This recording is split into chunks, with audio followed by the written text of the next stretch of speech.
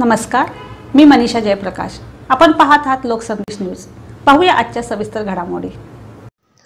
सतत पडणाऱ्या संततधार पावसामुळे कृष्णेच्या पाणी पातळीत वाढ झाली आहे. आज दिनांक चौदा सप्टेंबर रोजी दुपारी तीन वाजून अठ्ठावीस मिनिटांनी कृष्णेची पाणी पातळी अठरा पॉईंट सात इतकी होती.